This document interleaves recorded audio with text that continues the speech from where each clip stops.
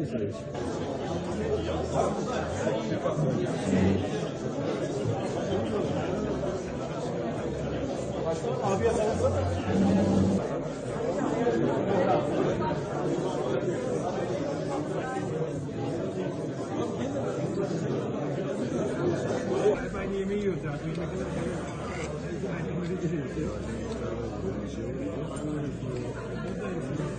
Thank you.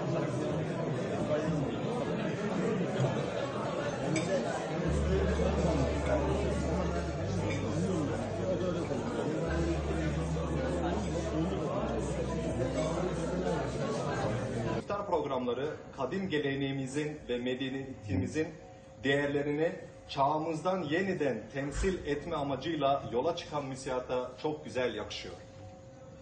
Değerli misafirler, tohumları 9 Mayıs 1990'da bir avuç genç ve yürekli iş adamlarından toprağa attığı müsiyat 32 yıl sonunda kocaman bir çınara dönüştü.